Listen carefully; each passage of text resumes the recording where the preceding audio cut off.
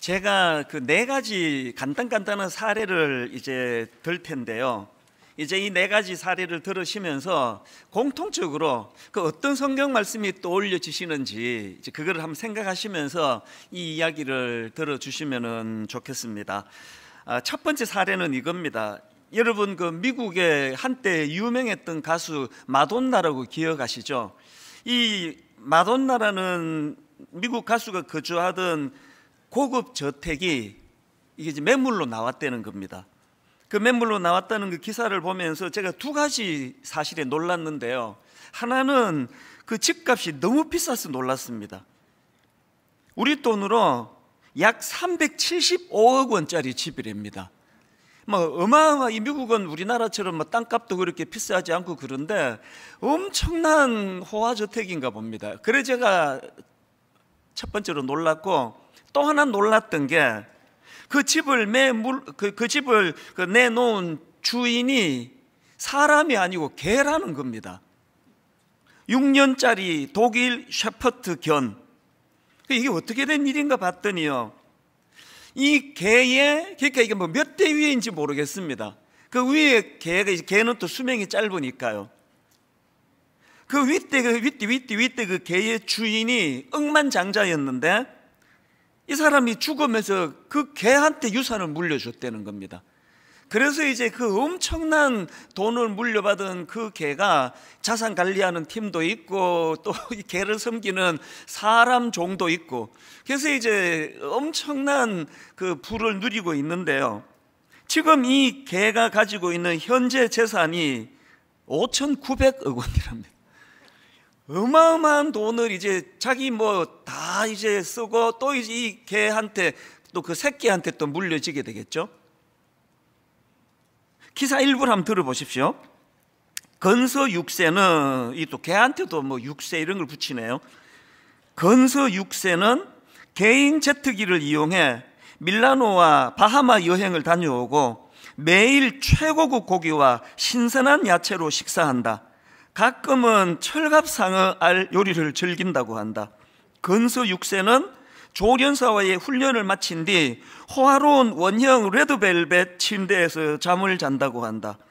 뭐 걔는 그 레드벨벳 침대에서 자면 참이 잘 오나 보죠. 이게 굉장히 독특한 그 기사를 제가 읽었고요. 이게 첫 번째 얘기입니다. 그런가 하면 두 번째 얘기는 이겁니다. 이건 사우디아라비아에서 있었던 일인데요. 그 나라에서 이 낙타 미모 경연 대회가 열렸답니다. 이것도 웃기는데요. 정말 놀라운 거는 그 상금입니다. 이 낙타들이 이제 그 미모 경연 대회가 열렸는데 총 상금이 770억 원이래요.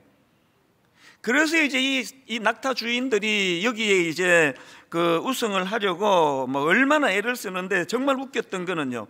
낙타한테 이 보톡스 주사를 맞힌다는 겁니다. 그래서 이제 그 뭐 낙타가 또 입술이 두툼하면은 미인인가 보죠.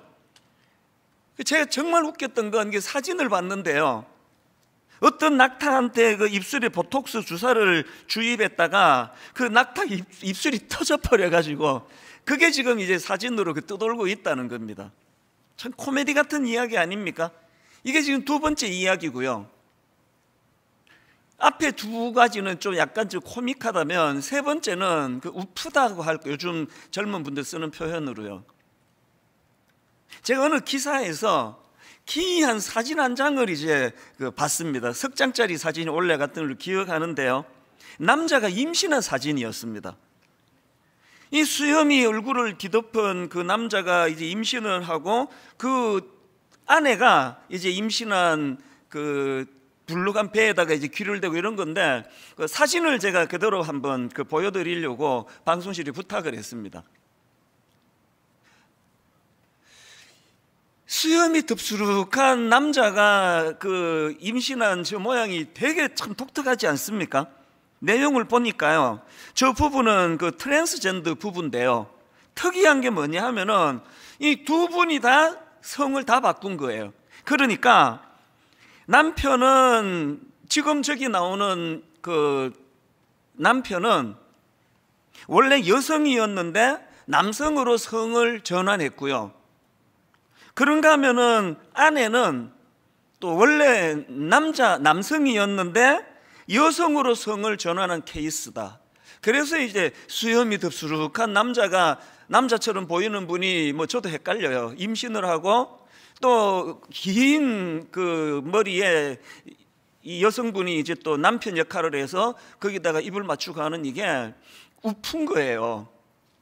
도저히 이해도 잘 안 되고 근데 아마 이걸 뭐 미국에서 이거를 뭐 보여주면은 뭐, 뭐 저게 어때서 뭐 그런 반응을 보이는 분들도 지금 꽤 있지 않을까요? 마지막 네 번째는요. 그 낸시 피어시 박사가 쓴 내 몸을 사랑하라 그 책에 나오는 한 내용인데요. 이 미국의 일부 지역에서는 이제 초등학생까지 다양한 성 정체성에 대한 사회적 압박이 가해지고 있다. 이게 무슨 소린가 보니까요. 그 책에서 11살을 11살짜리 딸을 둔 엄마가 학부모가 이제 한 말을 인용을 하는데 들어보십시오. 요즘 학교에서 이 초등학교입니다. 요즘 학교에서는 젠더 이슈를 크게 만들어서 아이들 사이에 서로 너 게이야? 너 트랜스젠더야? 이런 질문을 끊임없이 하고 심지어는 반에 레즈비언 아이들이 있는데 이 지금 11살짜리예요. 우리로 치면 이 4학년입니까? 5학년입니까? 심지어는 반에 레즈비언 아이들이 있는데 자기 딸에게 여자친구가 되어달라는 얘기를 한다. 이게 순진한 우리 초등학교 4학년 여자아이가 너 나랑 친구할래? 우정을 얘기하는 그 친구가 아닌 건 아시죠?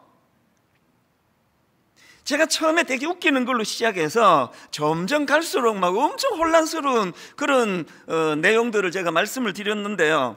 여러분 이 네 가지 사례를 들려드릴 때 여러분은 이것을 관통하는 어떤 성경 구절이 떠오르셨던가요? 저는 오늘 본문에 나오는 사사기 17장 6절 말씀이요. 그때는 이스라엘의 왕이 없었으므로 사람마다 자기 소견에 옳은 대로 행하였더라.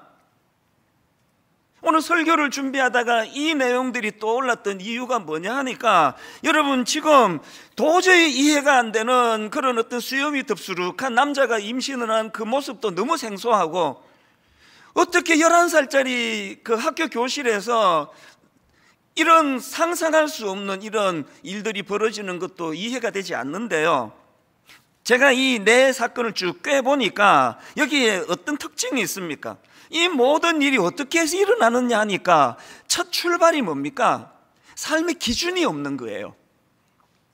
아무리 개를 사랑해, 저도 개를 키우는 사람 아닙니까? 개 사랑하거든요.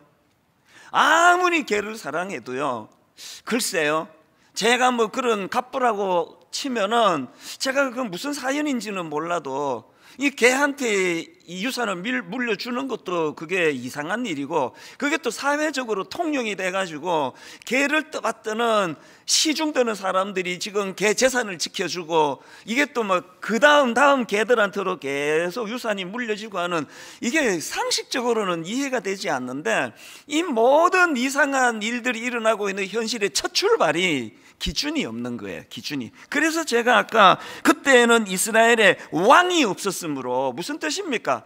여호와 하나님이라는 창조주 하나님이라는 기준이 있는 인생이라는 걸 설명할 때 제가 이 말씀을 사용하는 거 아닙니까?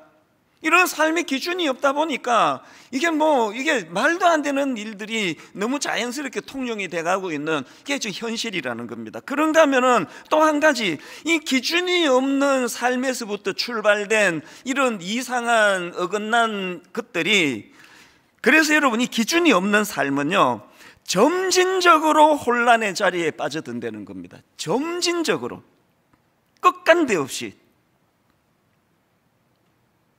미국에서 처음에 그 차별금지법이라는 것을 만들 때 얼마나 좋은 동기였겠습니까? 어떤 경우라도 누구라도 소수에 대하여 차별하면 안 된다. 그렇게 시작한 차별금지법이 나중에 여러분 초등학교 4학년, 5학년 교실에서 이런 이해가 안 되는 일들이 일어나는 쪽으로 흘러갈 줄 누가 알았겠냐고요. 제가 지금 우리나라에서 추진하고 있는 이 차별금지법을 두려워하고 있는 게 바로 이런 내용들입니다. 이것이 좋은 뜻으로 시작을 했는데 점점 점점 끝간데 없는 끝간데 없는 끝간데 없는 거라서 그래서 여러분 저나 여러분의 자녀들이 내가 분명히 아들을 길렀는데 그 아이가 배가 불룩해 있는 이런 모습으로 나타난다는 거 누가 그거를 상상을 하겠냐고요. 제가 두려운 게 이겁니다. 기준이 없는 하나님 없는 인생은요. 이것이 끝까지 종종 말씀드리잖아요. 아무리 비바람이 몰아쳐도 우리가 부산의 해운대 같은데 안심하고 갈 수 있는 거, 동해에 안심하고 갈 수 있는 거, 아무리 파도가 몰아쳐도 바다는 여기 이상으로 건너오지 않는다는 안전함이 있기 때문에 우리가 바닷가를 가는 거 아닙니까? 그거를 넘어버리는 게 그게 쓰나미 아닙니까? 오늘 아무리 봐도 우리가 살고 있는 이 시대는 전 세계적으로 잘 산다는 똑똑하다는 유럽이나 미국일수록 캐나다일수록 호주 우리같이 뭐 그렇게까지 선진국이 아닌 나라 사람들이 생각해도 이게 이해가 안 되는 그런 일들이 점점 통용되는 이게 뭘까? 그게 하나님이라는 기준이 없는 인생은요 끝이 없어서 그래요. 이 정도로도 끝내면 다행인데 이게 뭐 어디까지 갈지는 아무도 모르고 저는 이런 면에서 AI 인공지능을 저는 사실 두려워해요. 10년 전, 20년 전 영화에나 보던 나중에 그 로봇이 인간을 지배한다는 이런 일이 이게 진짜로 가능할 수도 있겠다는 두려움이 생기는 겁니다. 이걸 우리 개인의 삶에도 한번 적용해 보자는 거 아닙니까? 제가 오늘 본문 말씀을 이런 관점으로 좀 살펴보기를 원하는데요. 이 오늘 본문을 포함한 사사기서는 전체가 21장짜리 성경입니다. 그런데 이 사사기는 크게 두 파트예요. 앞부분인 1장부터 16장까지가 본론이고요. 그리고 이제 오늘 우리가 살펴보는 17장부터 21장까지가 이게 부록입니다. 없어도 되는 내용 원래는. 그래서 여러분 이 본론이 16장까지 이제 삼손 사사 삼손 이야기로 끝을 내도 아무 문제가 없는 이 사사기니까요. 근데 왜 하나님은 그렇게 16장으로 끝내질 않고 왜 17장 아그 그 17장부터 그 21장까지 그런 부록을 만드셨나? 이 부록에 보면은요, 그 두 이야기가 등장을 합니다. 오늘 살펴볼 17, 어, 18장에 나오는 미가라는 사람과 그 어머니에 대한 사례가 나오고요. 그 다음에 두 번째 이야기는 19장부터 21장까지 레위인, 레위인과 첩 이야기인데요. 성경을 조금만 아시는 분은 다 아실 겁니다. 이게 점점 갈수록 부록은요, 역겹고 추하고 도저히 읽을 수가 없습니다. 말로 다 할 수 없는 인간 타락의 극치를 지금 부록에다가 넣어놓고 있거든요. 이런 생각해 보셨습니까? 하나님은 왜 본론만 내시고 16장으로 끝내시면 되는데 이 끔찍한 두 이야기를 담은 부록을 왜 만드셨을까? 여러분 이거 아십니까? 그때에는 이스라엘의 왕이 없었으므로 사람마다 자기 소견에 대로 행하였더라. 이거 두번 나오는 건 아시죠? 그리고 이게 사사기를 전체를 정리하는 핵심 말씀이는 아시죠? 여러분 이 두 이야기가 전부 부록에 나오는 이야기예요. 뭘 의미할까요? 하나님은 부록을 통해 저와 여러분에게 경고하세요. 기준이 없는 인생은 그 마음에 여호와 하나님을 왕으로 모시지 않는 사람은 이런 끝간데 없는 끝이 없는 타락의 자리로 갈 수밖에 없다. 이걸 우리에게 경고하시는 말씀입니다. 기준을 세우셔야 돼요. 결혼하셨습니까? 어제 결혼한 우리 신혼부부 지금 내일 신혼여행을 가시는 분들이 있다고 할 때 신혼여행 갔으면 구경 다니는 게 중요한 게 아니라 신혼여행 가서 제일 먼저 해야 되는 건 우리 가정의 기준을 세우는 거예요. 출산 계획이 있으십니까? 아이를 임신하고 이 아이를 출산하기 전에 이 자녀 교육에 대한 기준을 세우셔야 돼요. 공부해야 됩니다. 연구해야 됩니다. 그 중에서도요, 이 부록에 나오는 사사기 부록에 나오는 두 사건 모두가 다 미가와 그 엄마 이야기, 가정에서 일어난 이야기 뭐 이것도 그렇고 공통점이 뭐냐 하니까 또 레위인과 첩 이야기도 이게 엄밀히 보면은 가정과 관계된 이야기 아닙니까? 그래서 여러분 개인도 그렇고 가정에서의 기준이 세워져야 된다는 겁니다. 그래서 저는 오늘 여러분들이 그리고 여러분의 자녀들이 이 악한 시대에 물들지 않으려면 이것과 관련해서 두 가지를 꼭 기억하셔야 되는 생각. 첫째가 뭐냐? 먼저 부모의 가치관이 바뀌어야 돼요. 부모의 가치관이 바뀌어야 됩니다. 왜 이런 타이틀을 제가 생각했냐니까 본문에 나오는 이 미가 엄마 때문입니다.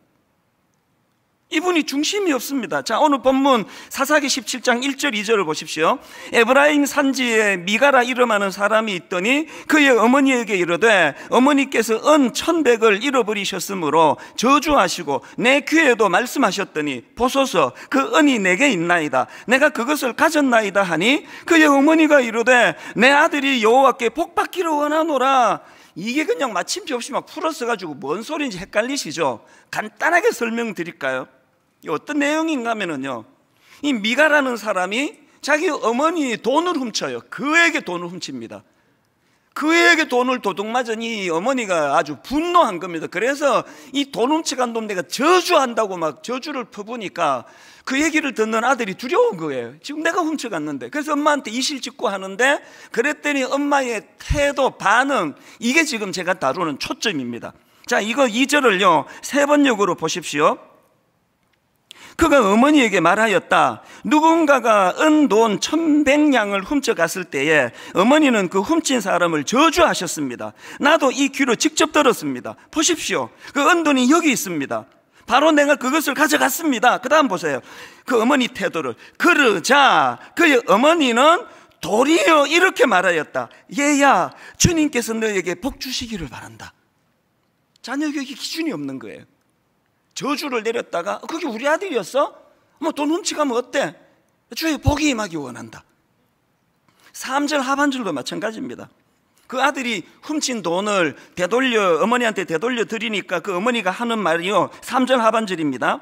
내 손에서 이 은을 여호와께 그렇게 드리노라. 이것만 보면은 막 엄청난 믿음의 결단을 한 것 같은데요 이게 3절 전체를 보면 이게 그런 내용이 아닙니다. 3절을 전체를 보십시오. 미가가 은 천백을 그의 어머니에게 도로 주매 그의 어머니가 이르되 내가 내 아들을 위하여 한 신상을 새기며 내가 내 아들을 위하여 한 신상을 새기며 한 신상을 부어 만들기 위해 내 손에서 이 은을 여호와께 그렇게 드리노라. 하나님이 그렇게 싫어하시는 신상을 만드는 게 여호와를 위하는 거라고요 기준이 없는 거예요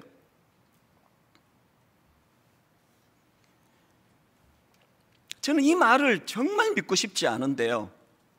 요맘때가 되거나 연말 혹은 연시가 되면은 많은 권사님들이 용하다는 점쟁이를 찾아간다는 거예요. 용하다는 점쟁이가 또 그 이야기를 또 왜 하느냐? 그분이 가가지고 내가 권사입니다. 또그 이야기를 또 하나 봐요. 정말 안 믿고 싶습니다. 이 미가 어머니와 같은 중심이 없는 이런 신앙생활을 하고 있다는 거 아닙니까? 이름은 하나님께 영광이라고 하는데 실제적인 그 행위는 기준이 없다 보니까 하나님이 너무나 싫어하시는 그런 일들이 일어나는 거 아닙니까? 이게 이런 어머니의 태도가 왜 위험한가? 그 아들 미가에게 어떤 영향을 미치는지 보십시오. 자, 본문 4절 5절입니다. 미가가 그 은을 그의 어머니에게 도로 주었으므로 어머니가 그 은 200을 가져다 은장색에게 주어 한 신상을 새기고 한 신상을 부어 만들었더니 그 다음 보세요. 그 신상이 미가의 집에 있더라. 그 사람 사람 미가에게 신당이 있으므로 그가 에봇과 드라빔을 만들고 에봇은 제사장이 입는 옷이라는 거 다 아시죠? 그리고 이게 드라빔은 우상이라는 거 다 아시잖아요. 그럼 어떻게 된 겁니까? 그 다음도 보세요. 한 아들을 세워 그의 제사장으로 삼았더라. 레위인도 아닌 자기 아들을 제사장으로 삼는 거 보세요. 이뭐 지금 이 미가를 보니까요, 뭐뭐 윤리적 도덕적인 것도 돈 필요하면은 막 그에게 어머니 또 훔치는데 주저하지 주저함이 없고 막 내 복 받는 일이라면은 뭐 하나님이 싫어하거나 말거나 뭐 그냥 뭐 내 복 받는 일에 모든 걸 다 거는 거. 왜 이렇게 됐습니까? 부모의 기준이 없는 신앙 교육이 자녀를 이렇게 지금 만들어가고 있는 거 아니겠습니까? 1만 성도 파송 운동을 놓고 여러분 지금 마음이 복잡한 건 다 알아요. 그러나 제가 최근에 이런 이야기를 듣고서 정말 마음이 아팠습니다. 이런 말을 하신대요. 에이, 우리 목사님이 아무리 그래도 그 4분의 3이나 안 나간다고 5천 명 이하로 안 준다고 출석 성도가 안 준다고 뭐 정말 사표해야 되겠어? 걱정 안 해도 돼. 뭐 그런 얘기들이 있대요. 그리고 지난주에 이제 내년에 이제 하나님의 말씀을 관통하는 이런 목표를 하겠다 그랬더니 그 봐. 관둘 사람이 저런 거 하겠어? 걱정 안 해도 돼. 그런 얘기를 하신대요. 여러분 제가 분명히 말씀드릴게요. 1만 성도 파송 운동에 너무 큰 의미를 부여하지 말아 주시기를 바랍니다. 한국 교회를 살리는 뭐 엄청난 일이라느니 이런 소리 하지 마시고요. 이거는 그냥 뭐 자다가 일어난 잠결에 한 약속이라도 내 주인 되시는 주님께 한 약속은 반드시 지켜야 된다. 여기에 의미를 두시면 됩니다. 5천 명 이하로 4분의 3 이상의 성도가 나가지 않으면 제가 하나님 사임하겠습니다라고 약속을 한 이상 이거를 번복하는 일은 제 생애에 없습니다. 원래 내년에 안식년을 하려고 했는데 만약에 내가 나가게 되더라도 잘 준비하고 가야 되기 때문에 무슨 제가 안식년을 가겠냐고요. 뭐 하반기에 뭐 몇 달 갈 수 있을까요? 최선을 다해 정비할 것입니다. 그리고 저는요, 일만 성도 파송 운동 꼭 성공해야 된다 생각하지 않습니다. 뭐가 성공인데요? 5천 명 이하로 주는 게 성공입니까? 아닙니다. 제가 오래 하고 싶어 가지고 막 인위적으로 막 몰아쳐 가지고 그렇게 5천 명 이하로 만들다면 그건 하나님 앞에 악한 짓이에요. 순리대로 내버려 두는 거예요. 모든 성도들이 다 남으셔도 어떤 조치도 취하지 않는 겁니다. 그리고 거기에 약속만 지키면 되는 거거든요. 이게 기준이거든요. 여러분, 여러분 신앙생활에 기준이 있습니까? 그 기준이 고무줄이면 곤란한 거 아닙니까? 분당 우리 교회가 그리고 저와 모든 성도님들이 하나님 앞에서 왕이 계시는 그 왕이 우리 삶의 기준인 그런 성도들이 모인 교회가 되기를 바랍니다. 두 번째, 여러분, 우리 악한 시대에 우리가 물들지 않고 자녀들이 물들지 않기 위해서는 먼저 부모의 가치관이 바뀌어야 되고요. 그런가 하면 두 번째로 자녀 교육을 해야 되는데 어떤 자녀 교육이냐? 기준이 있는 자녀 교육을 해야 된다는 겁니다. 미가의 어머니 같은 자녀 교육 100번 해도 소용없습니다. 아까 2절 보셨잖아요. 아들이 그에게 그 자기 돈을 훔쳐갔는데 그걸 꾸짖기는 그냥 2절을 보십시오. 보소서 그 은이 내게 있나이다. 내가 그것을 가져갔나이다 하니 그의 어머니가 이르되 내 아들이 여호와께 복받기를 원하노라. 징계해야 되는데 징계하지 않는 교육. 오늘 이 시대에 가장 가슴 아픈 교육이라 생각합니다. 저도요, 정말 친구 같은 아버지가 되기를 원해요. 그런데 친구 같은 아버지가 미가 어머니 같이 모든 걸 허용하고 모든 걸 용납하는 차원의 친구 같은 아버지라면 저는 우리 아이들이 상처받을지는 몰라도 그런 아버지는 되고 싶지가 않습니다. 여러분 그 애완견 훈련사 강형욱 씨 다 아시잖아요. 저도 강아지를 키우면서 이분의 그 조련 방법을 여러 가지로 보고 많이 배운 배우게 해준 분인데요. 뭐 이분은요 진짜 뭐 강아지 정말 사랑하는 분이에요. 와 이렇게까지 개를 위해 주나 그러는데요. 제가 놀라는 게 뭔지 아십니까? 이렇게 강아지를 사랑하는 그런 조련사인데요. 그 강아지 훈련시킬 때 보면 피도 눈물도 없습니다. 어떨 때는요, 이거 동물학대 아닌가? 그럴 정도로 가혹하게 다루어요. 어, 굉장히 제가 놀랍니다. 아, 그랬는데 여러분, 요 근래에 오은영 박사라고 강아지가 아니라 사람 아이들을 교육시키는 이분을 보니까요. 어, 교육 방법이 똑같은 거예요. 굉장히 단호하고 부모와 자녀 사이에 위계 질서를 만들고 철저하게 교육하도록 가르치는 이 원리는 똑같은 거예요. 오늘 이 시대가 가지고 있는 가슴 아픈 현실이 뭡니까? 친구 같은 아버지, 친구 같은 엄마라는 미명으로 부모와 자녀 사이에 경계가 허물어져 버린 거예요. 뭔 이야기라든지 간에 네 잘했다 참 잘했다 넌 어쨌든 복 받을 거야 미가 어머니가 보여주시는 너무나 무서운 타산지석, 경고의 말씀이라 생각을 합니다. 그래서 여러분 지금이라도요 기준을 세워야 돼요. 로마서 12장 2절 너희는 이 세대를 본받지 말고 오직 마음을 새롭게 함으로 변화를 받아 하나님의 선하시고 기뻐하시고 온전하신 뜻이 무엇인지 분별하도록 하라. 제가 두 군데다가 굵은 글씨 강조점을 뒀잖아요. 하나님께서 너희는 이 세대를 본받지 말고 여기다 왜 넣었을까요? 걸핏하면은 이 세대를 본받을 수밖에 없는 게 우리라는 걸 인식 좀 하라는 겁니다. 뭐 잘난 척하고 설교하고 떠들어대지만 내버려두면 이 시대를 본받는 목회를 할 수밖에 없는 게 저라는 걸 내 양심을 걸고 제가 너무 잘 알아요. 그래서 두려워하는 거 아닙니까? 그런가 하면은 맨 끝부분에 나오는 분별하도록 하라. 뭘 분별하라는 겁니까? 하나님의 선하시고 기뻐하시고 온전하신 뜻이 뭔지를 분별해라는데요. 여기 중요한 포인트가 있습니다. 여기 나오는 분별 이 단어는 헬라어로요. δοκιμάζειν이라는 단어인데요. 이 단어는 영어로 말하면 test and prove 그러니까 우리말로 하면은 시험해보고 증명하라는 그런 뜻입니다. 이게 뭘 의미하는지를 다니엘서에서 너무 잘 설명하고 있습니다. 자, 다니엘서 1장 8절 9절입니다.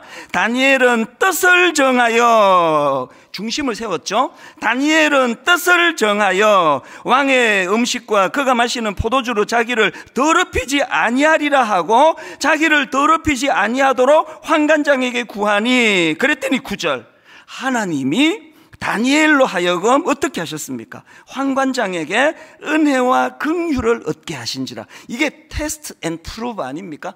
이게 바로 시험해 보고 증명하라는 말씀 아닙니까? 하나님의 말씀으로 기준을 세우면 맨날 손해보는 것 같고 맨날 억울한 것 같아도요. 그래서 우리 교회에도 오셨던 김지창 교수님 책에 보니까요. 사사기를 이렇게 압축적으로 설명하더라고요. 사사기는요, 샬롬의 땅에서 엔 샬롬의 삶을 살았다. 엔이라는 건 부정접두 같은 거 아니겠습니까? 그래서 하나님이 허락하신 샬롬, 그 평화의 땅에서 샬롬 없는 삶을 살았던 게 이스라엘 백성이라 그런다면 딱 오늘 이 시대 우리 아닙니까? 오늘 딱 이 시대 우리 아닙니까? 다 갖춘 것 같은데 엔 샬롬, 샬롬이 없어요. 이걸 테스트 해보라는 겁니다.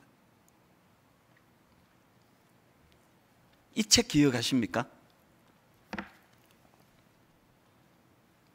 자세히 보시라고 화면으로도 좀 띄워달라 그랬습니다. 1년 반 전에요. 우리가 우리 자녀 성경적 성교육 시리즈 이거를 이제 책을 정말 야심작으로 이거를 이제 번역서를 출간을 우리 연구소에서 했는데요. 두 가지 반응이 있었습니다. 부모님들한테는요, 아, 이게 책만으로는 이 아이들 자녀 교육하는 게 너무 어렵다, 하기 힘들다, 그런 반응이 나왔고요. 또 하나는 한국 정서에 맞지 않는 부분이 미국 책을 번역하다 보니까 정서에 맞지 않는 부분이 있어서 보완이 필요한 것 같다. 그래서 이제 눈물을 머금고 그때 판매를 중단했습니다. 막 판매가 불티나듯 판매되던 지점에서 이거를 중단하고요. 1년 반을 지금까지 실험을 했습니다. 1년 반을 어떻게 준비했느냐 하니까요. 이번에 그래서 나온 게 개정판이에요. 개정판을 만들고 그리고 또 이 책과 관련한 워크북을 만들었습니다. 그래서 이제 그 예전에 책을 구입하신 분도 새책 사시지 않으셔도 돼요. 워크북을 가지고 이제 함께 자녀들 교육하시는데 도움이 되도록 우리 어머니 아버지 참고하시라고 워크북을 이번에 총신대 기독교 교육학과 함영주 교수 팀과 분당 우리 교회 주일 교육자들이 수고를 많이 해서 워크북을 만들었고요. 그런가 하면 또 하나 부모님들에게 도움을 드리기 위하여 미국에서 활동하시는 성교육 전문가십니다. 이진아 전도사님의 이 강의 동영상을 우리가 만들었습니다. 그래서 이제 이런 보완을 다 해가지고 한 1년 반을 정말 이 팀에서 너무나 고생. 저도 이것 때문에 부산에도 다녀오고 우리 팀도 부산을 뭐 한 번만 간 게 아닙니다. 이 책을 만든 규장 출판사에서요. 우리 이것 때문에 이제 막 그 이제 중단을 했기 때문에 이게 그때 10권짜리 그 나이마다 이걸 다 만들어 놓으니까 10권짜리 책을 만들어 놓으니까 출판사 입장에서 재고가 2만 5천여 부 남았는데 제작비만 계산해도 1억 2천만 원 이 손해를 본 거예요. 제가 감동을 받는 게요. 목사님, 돈 버는 게 목적이 아니라 반드시 좋은 책을 만들어내야 되는 거 아니겠습니까? 기꺼이 그거를 감수해 주셨어요. 그래서 이제 오늘 1년 반 만에 제가 여러분에게 정말 눈물로 호소하기를 원합니다. 여러분, 이 코로나19만 아니면요. 정말 마당에 책 이만큼 산더미처럼 쌓아놓고 강매하고 싶은 심정이에요. 왜? 이 책이 완벽해서가 아니에요. 여러분, 우리가 뭔가는 지금 꿈틀거려야 돼요. 아까 영상 보셨, 아까 그 사진 보셨잖아요. 점점 점점 지금 미국과 유럽을 닮아가는 이 우리나라 이 실정 속에서 자녀들을 어떻게 할 건가? 이제 우리 연구소가 방향을 이렇게 잡아가기 원합니다. 우리 부모를 도와주는, 우리 엄마들을 도와주는 자녀 교육을 제대로 할 수 있도록 이제 우리 주일학교랑 연계해가지고 방학 동안에 우리 주일학교 함께 부모 교실을 만들 겁니다. 그리고 분당 우리 교회만이 아니라 진짜 대한민국의 뭐, 뭐 많은 교회들이 이 자료를 마음껏 쓰시도록 모든 자료를 다 공개하고 있습니다. 공개하려고 합니다. 그리고 공개할 것입니다. 오늘의 결론을 저는 이렇게 맺기 원합니다. 성탄을 기다리는 사람들. 여러분, 성탄을 기다리는 사람들은요, 버스 기다리듯이 아무것도 안 하고 정류소에 앉아 있는 사람들이 아닙니다. 성탄을 기다리는 사람들은 미가 어머니 같은 그런 부모가 되지 않기 위하여 미가와 같은 자식이 되지 않기 위하여 이 땅에 오신 예수 그리스도를 내 삶의 기준으로 삼고 그분을 기준으로 살아갈 때 손해보는 것 같아도 내 안에 하나님 주신 샬롬 오늘 이 시대는 풍성하게 거지없는 넘치는 땅에서 엔 샬롬 샬롬을 잃어버린 시대라면 하나님 오늘 예수 믿는 우리 교회와 우리 가정과 우리 성도들에게는 샬롬이 넘치는 은혜가 있기를 원합니다